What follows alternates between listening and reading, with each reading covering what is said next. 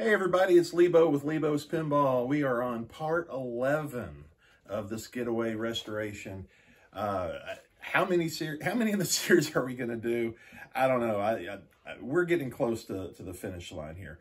If you watched the last video, um, you may have noticed that when we were swapping out uh, the coil sleeves for these uh, sling coils, uh, it was this one in particular that the, the sleeve was a little tight coming out. It actually started out coming out fairly easy and then it got tight and, and, I, and I got it out and the replacement went in a lot easier.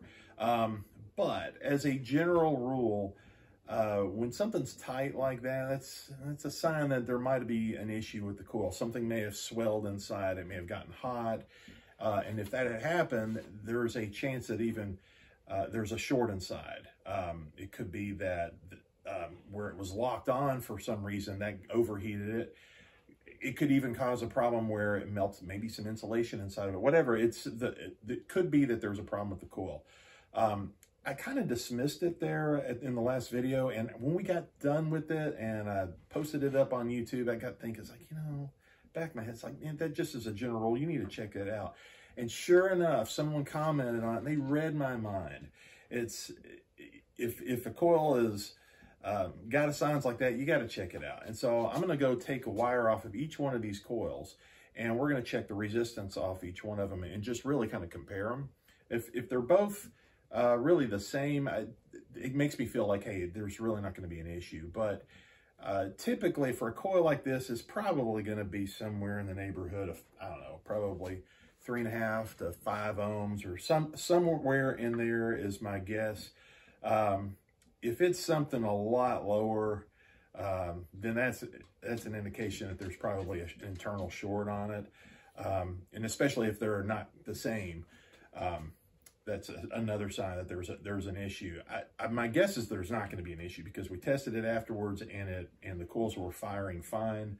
And um, if it were really bad, uh, you could have issues where you know there, it's drawn way too much current. It functioned, but it pulled too much current it might be popping even a transistor on the power driver board. That's that's a possibility. Or blowing a fuse. Uh, it seems like it blows transistors more than it ever blows fuses when you have issues like this. But anyways, um, let's go take a look at this and see uh, see what we find out. And uh, by the way, I'm no means an expert at all this stuff. It's just I'm kind of sharing my experiences with all this. So I really enjoy the comments.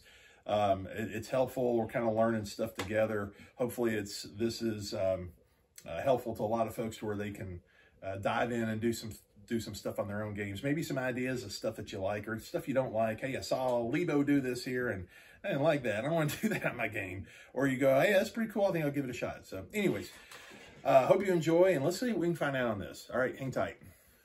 All right, let's see. Let's get this soldering tip nice and cleaned up here just going to take this one off instead of that one since it's just easier. It's just one little wire instead of the two.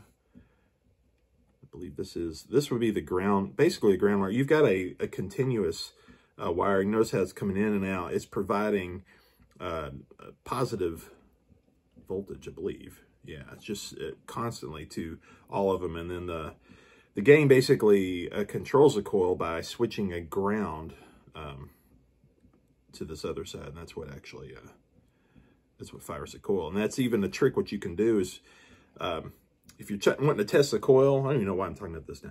If you were to take a, uh, turn the game on and actually take a jumper wire to a known ground, you should be able to, to uh, tap this in and it should fire the coil.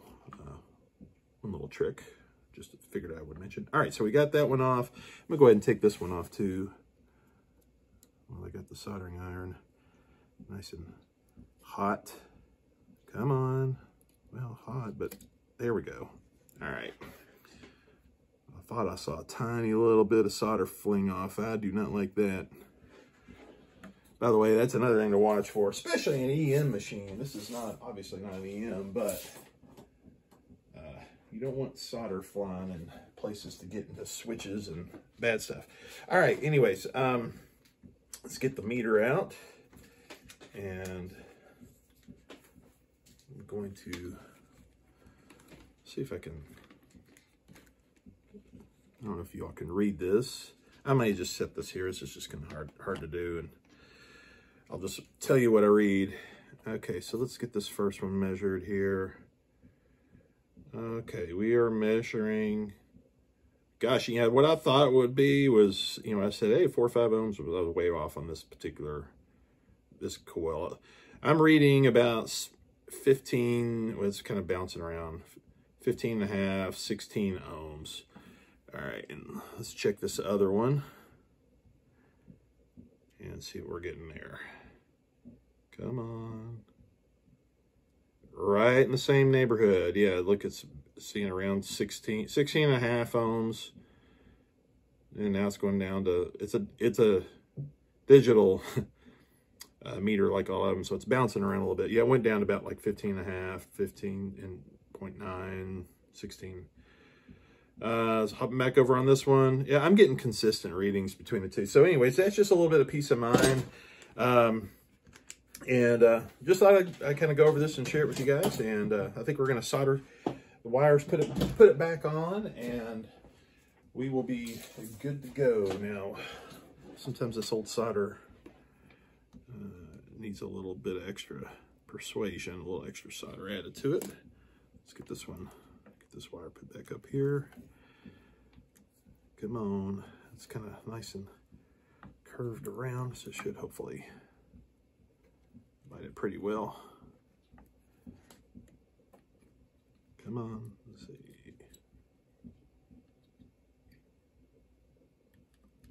By the way, I have had times where, um, hey, something quit working and went and found a wire that just popped off. So some of these solder joints uh, aren't always the best. And I don't mean like not necessarily from the factory. I just mean it could have been just some crappy work done by somebody or myself or whatever, you know, just, or it could have just been, you know, all those, a lot of the hits, you know, I was mentioning earlier about flipping uh, coils over because, you know, the, the coil stop is right here and that's kind of like the epicenter of all the impact, right? So, um, that can cause it too, but get on there. All right, let's see if we can flip my hands around here.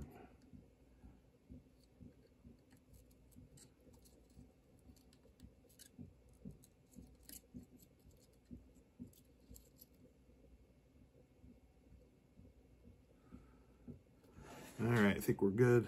We're on there. All right.